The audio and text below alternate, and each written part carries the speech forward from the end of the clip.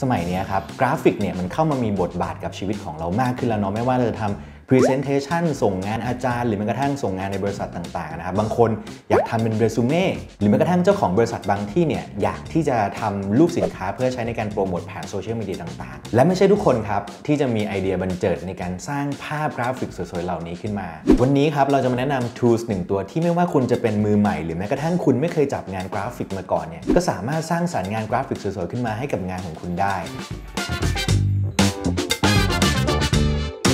เจ้า tool ที่ผมพูดถึงเนี่ยมันคือแพลตฟอร์มที่ถูกเรียกว่า Canva ครับ แพลตฟอร์มนี้ครับถูกสร้างขึ้นในปี 2012 มันเป็นช่วงที่นักศึกษาเนี่ยกำลังสนใจในการทำพวก school yearbook หรือว่าหนังสือรุ่นกันนั่นเอง เพียงแต่ว่าในสมัยก่อนเนี่ยครับการที่เราจะทำหนังสือรุ่นสวยๆ ออกมาได้ แน่นอนว่าคุณต้องใช้ซอฟต์แวร์อย่างเช่นพวก Photoshop Illustrator และก็ไม่ได้แปลว่าทุกคนสามารถใช้งานซอฟต์แวร์พวกนั้นได้ จึงเป็นไอเดียในการสร้างแพลตฟอร์มการออกแบบแบบง่ายๆ ที่ไม่ว่าคุณจะไม่มีประสบการณ์ในการทำงานกราฟิกมาก่อนก็ตาม ก็สามารถใช้งานได้ครับ แพลตฟอร์มนี้ได้รับความนิยมอย่างแพร่หลายครับ แล้วก็มีการพัฒนาจนกระทั่งถึงทุกวันนี้ในเว็บไซต์ที่เรียกว่า Canva หรือแม้กระทั่งตัวแอปพลิเคชันที่เราใช้อยู่ปัจจุบันด้วยครับแล้วถามว่าแพลตฟอร์มนี้เนี่ยเหมาะกับใคร จริง ๆ แล้วต้องบอกว่าเหมาะกับทุกคนครับ ยกตัวอย่างเช่น คุณเป็นชาวโซเชียลแล้วต้องการจะทำคอนเทนต์เก๋ๆเพื่อเรียกยอดไลค์ยอดแชร์ เจ้า Canva เนี่ยมันก็สามารถช่วยคุณใส่ฟอนต์เก๋ๆหรือมันกระทั่งดีไซน์เอฟเฟกน่ารักน่ารักลงมาในรูปของคุณได้ หรือมันกระทั่งครับ พนักงานออฟฟิศถ้าเราต้องการจะทำ Presentation เพื่อส่งงานหัวหน้า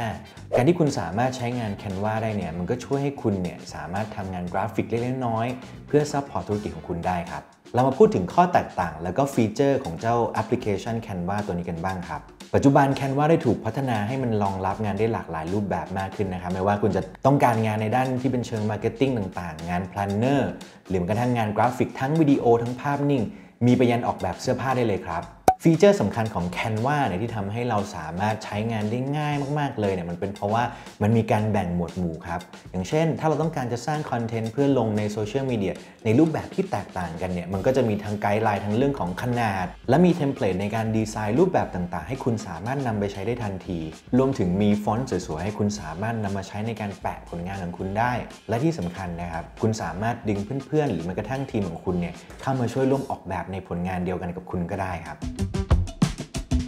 ฟังมาถึงตอนนี้แล้วครับคุณผู้ชมก็คงอยากจะรู้ว่าฟีเจอร์แบบฟรีเนี่ยหรือว่าเสียเงินเนี่ยมันแตกต่างยังไงมีข้อดีข้อเสียยังไงบ้าง เรามาดูกันครับ ในการที่คุณโหลดแอปพลิเคชันตัวนี้มาใช้งานเนี่ยแบบฟรีๆเนี่ยคุณก็สามารถใช้งานครอบคลุมในเรื่องของงานกราฟิก ได้ระดับหนึ่งแล้วครับ ถ้าหากคุณเป็นคนหนึ่งครับที่มีการใช้งานเจ้า Canva บ่อยๆอยู่แล้วเนี่ยและอยากทดลองในการเสียเงินเพื่อเข้าถึงฟีเจอร์ใหม่ๆของ Canva สิ่งที่คุณจะได้ครับ นั่นก็คือเราจะมีเทมเพลตสวยๆ แบบพรีเมียมเนี่ยให้เราได้เลือกมากขึ้นครับ รวมไปถึงฟอนต์ด้วย อีกฟังก์ชันหนึ่งที่ผมคิดว่ามันดีมากๆเนี่ยมันก็คือเราสามารถเข้าถึงพวก stock photo แล้วก็วิดีโอที่เป็นลิขสิทธิ์ต่างๆ ได้นะครับ อีกฟีเจอร์หนึ่งที่ผมรู้สึกว่าคนที่ขายสินค้าเนี่ยน่าจะชอบนะครับมันก็คือเราสามารถ remove ร์ตกราวเนี่ยออกจากสินค้าของเราได้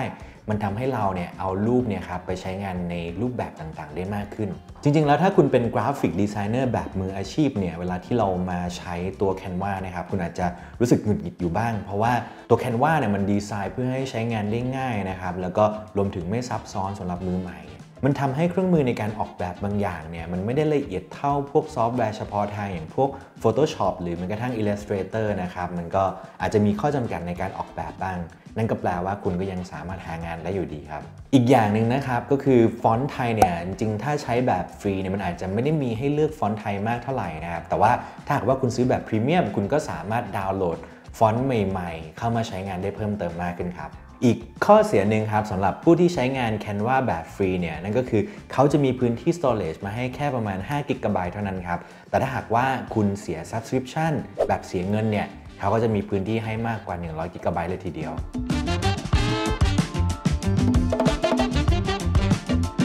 สรุปแล้วเจ้า Canva เนี่ยนะครับก็ถือว่าเป็นแพลตฟอร์มหนึ่งที่เหมาะกับคนทุกกลุ่ม แล้วก็ใช้งานค่อนข้างง่าย ถือว่าน่าใช้เลยทีเดียวครับ ถ้าหากว่าเรามีความจำเป็นจะต้องใช้งานเกี่ยวกับพวกกราฟิกต่างๆ ทีนี้ถ้าสมมติว่าใครยังไม่เคยโหลดมาใช้มาก่อนนะครับ ก็อยากจะแนะนำให้เราโหลดใน part ที่เป็นตัวฟรีมาลองใช้ดูนะครับ แล้วก็ถ้าหากว่าเรามีการลองใช้แล้วเราเกิดถูกใจ อยากจะใช้งานเป็นแบบพรีเมียมก็สามารถจ่ายเงินซื้อแพ็กเกจที่สูงขึ้นได้นะครับ มันก็จะมีฟีเจอร์ต่างๆ มาให้เลือกใช้งานได้มากขึ้น ถ้าหากว่าใครดูคอนเทนต์ตัวนี้เราชอบนะครับ ก็อย่าลืมฝากกดไลค์กดแชร์ กด subscribe ติดตามพวกเรากันด้วยนะครับ